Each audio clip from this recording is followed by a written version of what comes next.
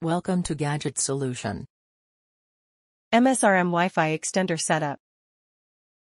Setup by web browser. Connect your MSRM Wi-Fi range extender to an electrical outlet. Navigate to the Wi-Fi selection screen using your wireless device.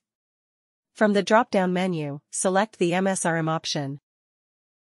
Launch your preferred web browser and enter the IP address 192.168.10.1 into the URL bar of your web browser.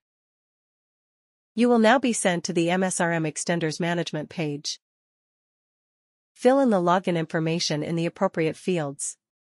To finish the setup, enter the username admin and password admin.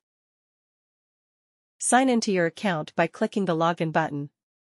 Choose the repeater mode from the menu. Choose the current SSID or network name of your existing wireless network from the Wi-Fi router where you want to add extra users. Enter the credentials for your existing wireless network in the repeater SSID box. Simply input a different name in the area provided below to create a new network name.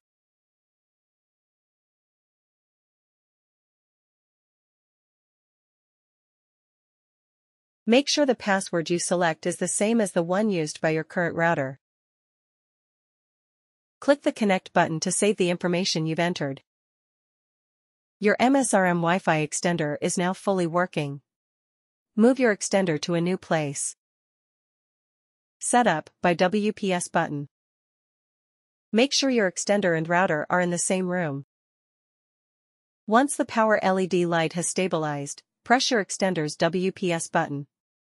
After that, the LED light will start blinking. Within a few seconds of hitting the WPS button on the extender, hit the same WPS button on the router.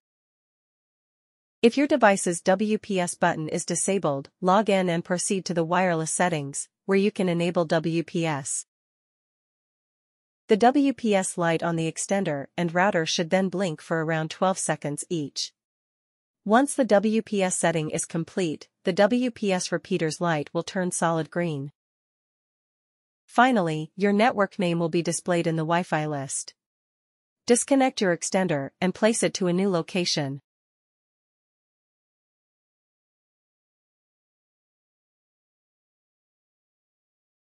Thanks for watching.